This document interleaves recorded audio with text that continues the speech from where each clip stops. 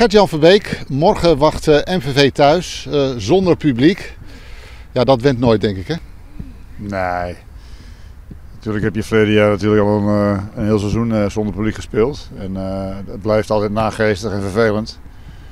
Ja, binnen de huidige omstandigheden uh, vindt het kabinet dat dit de beste optie is. Dus uh, ja, jammer, maar uh, helaas. Ja, jullie waren in eerste instantie fel tegen en wilden eigenlijk dat de wedstrijden werden uitgesteld. Hè? maar nu ja, blijkt toch het programma gewoon door te gaan. Hoe, hoe sta jij daarin? Nou, je hebt je als trainer te schikken naar, naar, naar wat de club wil. En de, de, de clubs hebben aangegeven, of een, gro een, groot aantal clubs hebben aangegeven dat ze het liefst eh, met publiek spelen. Nou, daar kan ik me heel goed iets bij voorstellen. Je koopt een seizoenkaart of je in de vrije verkoop. Uh, als speler geeft het ook wat, eh, wat extra's als, als er publiek is. Maar ja, op het moment dat, dat er besloten wordt voor hoge hand, dan heb je er maar neer te leggen en dan moet je gewoon je werk doen. Ja, wat steekt dan het meeste? Nou, het meeste steekt is dat er steeds meer een tweedeling komt in de maatschappij. Dat, dat steekt bij mij het meest. Hè? Dat, je, dat de ongevaccineerden steeds meer uh, onder dwang komen te staan om zich te laten vaccineren. Daar heb ik wel moeite mee. Ja, en het is vrij rigoureus. Hè? Want in de eerdere, uh, vorig seizoen zag je dat er misschien wel beperkt publiek uh, aanwezig was. En nu is het in één keer geen publiek meer. Ja, terwijl je natuurlijk ja, maandenlang gehoord hebt, laat je nou in en dan heb je die QR-code en dan, dan, heb je meer vrijheid. En uh, ook nu de, worden de mensen met een QR-code die wel gevaccineerd zijn, worden ook weer gestraft. Hè. Dus ik denk, ja, waarom dan niet hè, dan zegt dan met je, je komt alleen stadion nog binnen op dit moment met de, met de QR-code. dan werk je al ook weer die tweedeling wat meer in de hand. Maar die mensen hebben wel, wel overwogen die, die, die inenting gedaan. En worden dan ook weer gestraft. Hè? Dus dat is het dubbelop. En dat, dat, dat, begrijp ik niet helemaal. Ja. Begrijp je dat het uh, niet uitgesteld kon worden, het programma? Ja, daar heb ik ook wel begrip voor. Hè.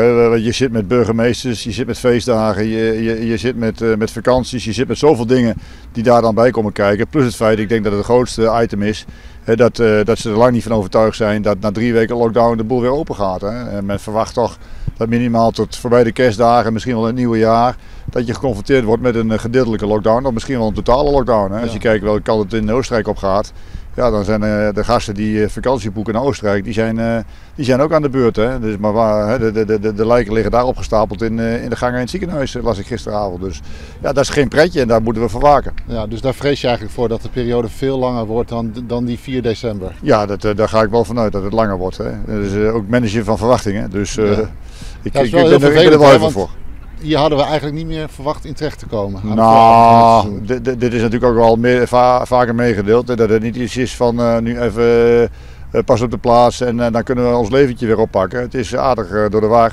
Al twee jaar lang zo'n zo beetje. En dat zal nog wel even aanhouden. Ja, en dan wacht dus nu MVV, zonder publiek dus. Wat voor een ploeg is dat, MVV nu, het huidige MVV? Uh, nou, ze hebben al laatste moment hebben ze nog een paar speels erbij gekregen, uh, waaronder ook een spits. En uh, daarin hebben ze verrassende resultaten neergezet. Het is een ploeg die er veel energie in stopt. die met heel veel mensen kan aanvallen en, en ook heel gecontroleerd en gegroepeerd kan verdedigen. dus ik denk ook dat ze hier komen in eerste instantie om, om, om het spel van ons te ontregelen. En ik denk niet dat ze dat hoog op het veld doen, maar wat lager. Nou, dan is het aan ons om daar een antwoord voor te vinden. En ik denk als wij eh, weten, weten voor te komen, zoals in meerdere wedstrijden we gedaan hebben, dat we daar ook kunnen gaan profiteren van, van eh, de ruimtes die dan ontstaan. En ja, uh, dat is de taak, hè, voorkomen. En uh, dat is ons al vaak gelukt. En dan proberen die voorsprong ook, uh, ook uit te bouwen. Hè. Ja, wat, wat heeft die wedstrijd op Woudenstein met je ploeg gedaan?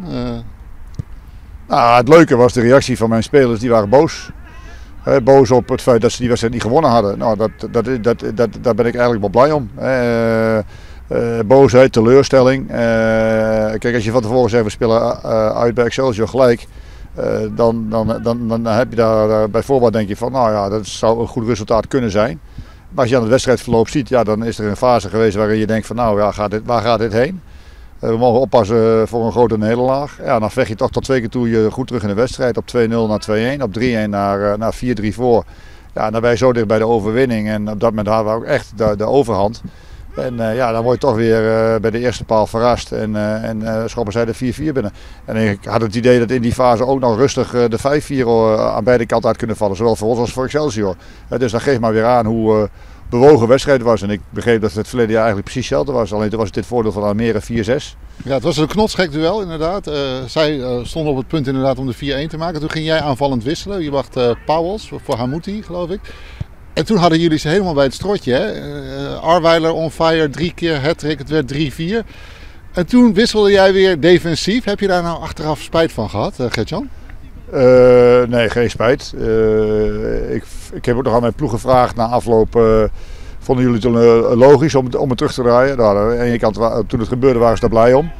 Omdat je, je weet gewoon dat Excelsior 4 3 achter, dan gaan ze komen, gaan ze stormen.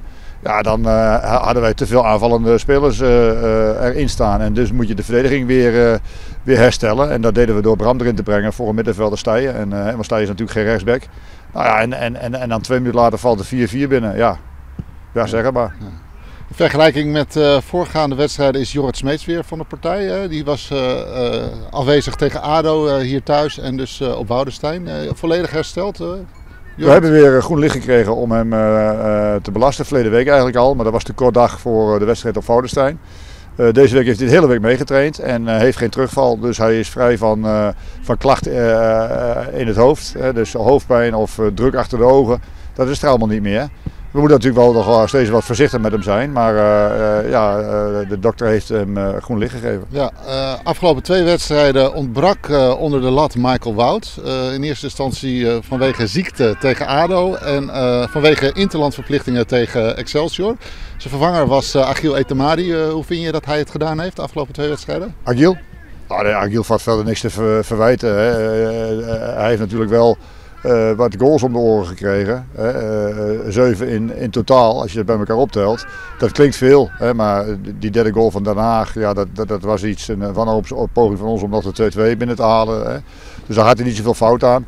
En ja, de, de spelervattingen, dat, dat, dat vind ik niet bij de keeper. Hè. De, de, de, organisatie wel, hè, maar daar kon hij verder niet zoveel aan doen. Daar stonden we gewoon niet goed te verdedigen bij de eerste paal. Nou ja, dan zijn er twee spelmomenten bij de eerste palen. Is altijd lastig. Hè? De, de, eerste grote verantwoordelijkheid is, zijn, uh, zijn de verdedigers die voor hun man moeten blijven. Nou ja, dat lukte niet helemaal. Hè? En, uh, en, dan kun je nog wat zeggen over het drukgeven voorin. Uh, het vrijkomen van mensen aan de buitenkant. dus, en, en, en, met Aguil weet je gewoon dat je, dat je van achteruit wat makkelijker de opbouw kunt verzorgen. Hè? Want kan gewoon goed voetballen. Dat is een pluspunt. Ja, qua lengte heeft Michael wat voor. Dus... Uh, daarin uh, hebben we op dit moment de keuze ja. tussen Michael of, uh, of Agiel. Ja, en als we dan een beetje op de training afgaan, dan zou die keuze wel eens in ieder geval tegen MVV op Agiel Etemari kunnen vallen. Nou, nee, dat wil ik wel verklappen. Dat, hebben, dat kan ik ook motiveren. Michael is voordat hij naar vertrok voor die interlandperiode is hij ziek geweest. Dus hij bijna nu meer dan twee weken heeft hij gewoon niet, geen onderdeel uitgemaakt van de groep. En uh, gelukkig voor hem was hij op tijd hersteld om de vliegreis uh, te ondergaan. De zon heeft hem goed gedaan in Qatar. En dus hij is wel fit teruggekomen, maar vandaag staat hij voor het eerst weer op het veld. En ik wil van de, van de week eerst weer eens even kijken hoe die, hoe die dat allemaal... want hij heeft ook een wedstrijd gekiept. niet de laatste, maar de, de eerste wedstrijd. Die wonnen ze met 2-1. En, uh, dus hij is wel met een goed gevoel teruggekeerd. Maar ik wil eerst van de week op trainen kijken hoe het ervoor staat. Even wat gesprekjes met hem voeren. En ik vond het nou te kort dag. Dus Akil die keept uh, morgen. Uh, en als we dan verder kijken, weinig aanwezigen. De enige die ik volgens mij mis is Oussama Bouyaglaven. Ja, het blijft een beetje kwakkelijker met hem. ziek.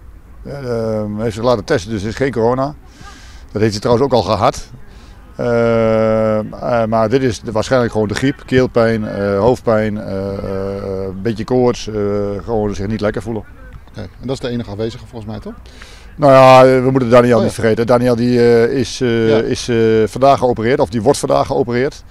dus daar zullen we vanavond ook even contact mee zoeken hoe het gegaan is. En we hopen dat dat, en we gaan er ook vanuit dat hij onder verkundige handen is en, en, en, geholpen is aan zijn kwetsuur. En, uh, het is wel belangrijk dat we hem niet vergeten natuurlijk. En, uh, maar dat is duidelijk dat dat ja. een lange termijn kwestie wordt. Ja, en volgens mij, oh, dan schreef ik nog even binnen, Thijs van Leeuwen. Die, was die, ziek? Mij, ja. Die is ook ziek. Nee, je, hebt, je bent scherp. Ja, je helpt me. als je namen gaat noemen, dan is het ja. gevaarlijk om, om er te vergeten. Ja. Maar Thijs die kwakkelt ook al een, hij heeft verleden week al, had hij last van de rug. En nu is hij wat ziekelijk, hè? ook wat klachten met keel. Dus het heerst wat. En ik hoop dat het daarbij blijft, hè, want we hebben natuurlijk nou de selectie voor morgen compleet. Het zou jammer zijn dat die of geen nog wegvalt uit die selectie.